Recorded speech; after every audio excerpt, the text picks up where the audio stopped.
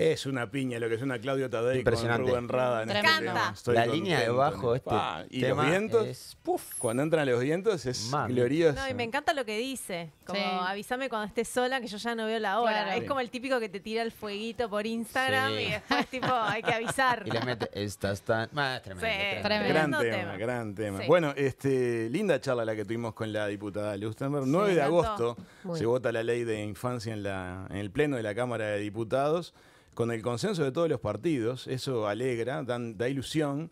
Llevó varios años, como Mucho lo trabajo. contó Sí, ella, sin duda. sostener, reunirse, ir logrando las voluntades, pero este, resulta ser que una facción minoritaria dentro de una coalición del país logra este, Lo que los demás no. lo que a veces partidos o agrupaciones de, de dentro de los partidos con mucho más caudal electoral, con mucha más potencia política, este, uno se pregunta si, si quieren verlo, si quieren Sí. encararlo o si les sirve más el ruido. ¿no? No, a mí la verdad mm, mm, casi que me faltó como que felicitarla cuando dijo, soy eh, tengo claro que soy la minoría dentro de la minoría Claro, ella y que con una todo y muy eso pequeña dentro del y que con todo y eso diga, bueno, hay que proponerlo, me voy a reunir, o sea, es y creer que igual por, por pequeña minoría que seas, eh, realmente puedes hacer la diferencia y sobre todo cuando tienes esa actitud estadista de decir, bueno, ¿cuál es el bien común?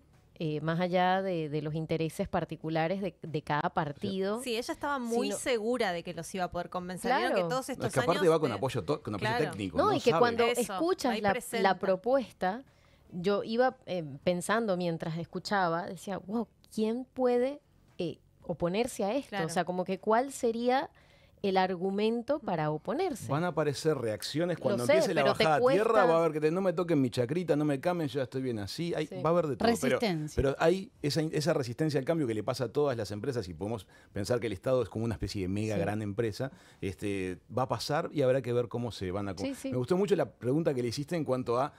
¿Qué le sugiere a otras personas Sí. que también Claro. estén en el ámbito político y digan, bueno, y te contestó bien también, te digo. Me parece, o sea, es, es decir, oye, tienes que estar dispuesto a no ir con la soberbia ni con ir... A Eso, eh, eso eso me encantó Claro, y me sí. parece que ahí está la clave en realidad de la política en sí para lograr eso que, que- que, bueno, que para lo que necesitamos, pero eh, esto que, que habla ella de tener la humildad y, y eso de, de poder escuchar a otro que piensa distinto. Que Total. hay- hay igual- una... Es un esfuerzo Perdón, también, ¿eh? Igual también lo mixó con la pasión de la política, porque también está bueno que ellos tengan pasión por lo que hacen, que puedan argumentarlo sin, obviamente, ser un Es que, ¿sabes qué? educado, Vamos a hacer una nota, voy a salir a buscar...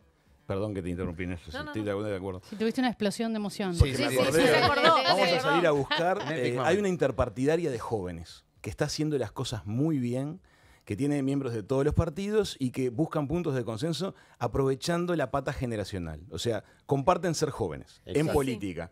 Y es interesantísimo porque lo que debiera de pasarnos es que las nuevas generaciones desplacen el ego, se Sí. acostumbren a trabajar en forma cooperativa, en forma de Total. equipos, que es lo que después vemos nosotros en el ámbito tecnológico privado, en las Sí. empresas. Por Igual ejemplo, lo que vimos con los chicos Con de los chicos, claro. Viste que el desplazamiento de ego que tenían era descomunal, Sí. los chicos sí. de, de Order It. Order No, y También- que te digo algo, me parece muy visionario entender que lo que tú decidas ahora no vas a ver esa, Resultado. ese resultado inmediato. Lo que ella hablaba un poco como el, el retorno a la inversión va a tardar mucho. Eh, y yo creo que nos hemos vuelto muy inmediatistas en que quieres como, Sí, no muy sé, la, la, publicidad en Instagram, que quieres meterle los Sí. 10 dólares y que ya Claro. te suban los... Ahora- En este caso sabes que es algo que mientras tú mantengas bien a tu infancia y a tus adolescentes, va a llevar unos cuantos Exacto. años en que eso realmente se vea. que ser forestales en. Uruguay, décadas, lo tenemos operativo y funcionando. Pasaron gobierno de todos los colores, buenísimo. Matriz energética, ha atravesado gobierno de todos los colores, buenísimo. Ahora viene hidrógeno verde, hay que seguir en este carril de mantener la cabeza abierta y buscar iniciativas. Pero primera infancia, adolescencia, es clave porque ahí te va el capital humano. Es que Sí. yo creo Sí, que sí. ahí que ahí se plantea la discusión, como que hay modelos de países que tienen modelos de país en el mismo país que son diferentes, que también pueden no coincidir en un montón de cosas y eso también hay que naturalizarlo porque es Claro. real. Pero bueno, yo creo que van las prioridades. Era lo que hablábamos la otra vez. Mm. O Sí. sea, Tengo hay este partidos capital, ¿en qué lo destino? Claro, hay partidos que prefieren eh, poner de prioridad ciertas cosas y el otro, yo creo que la discusión va ahí, porque en realidad en esto no hay discusión, o sea, todos estamos de acuerdo en que las primeras infancias son Vitales. Exacto. vitales e importantes. No, pues está bien, sobre un tema que no tendríamos que tener muchas divergencias, aunque obviamente las hay, porque va a haber temas de prioridad, de orden, de qué toco y qué Sí, no a toco. veces no es el qué, Organización. sino el Si el cómo. diseño es bueno, y eso lo Claro. están incorporando al Ministerio de Economía dentro de la gobernanza, a la OPP dentro de la gobernanza, hay técnicos. Si el diseño del sistema es bueno, te atraviesa las ideologías. Claro. Funciona. Porque garantiza el Los funcionamiento. humanos lo sabemos Sí. hacer. Hay que confiar en la capacidad que tenemos. Sí. Vamos a escuchar un poquito más de, de música.